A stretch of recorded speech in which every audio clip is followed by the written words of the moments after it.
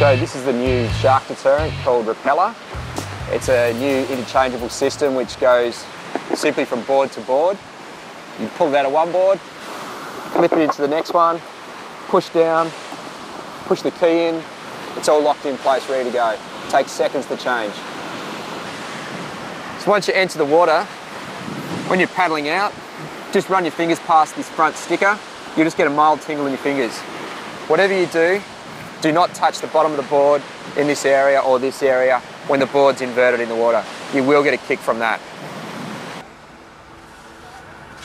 So after you surf, plug it into the cigarette lighter, plug the two plugs into the device, and it's charging when the blue light comes on. If you want to see the RPELA device has got charge in it, simply wet your fingers, put them over the solid and the center hole, the green light will come on. Now, if a red light appears solid with the green light, that means you have less than two hours run time. Now with your RPELA ready to go, you're ready to shred.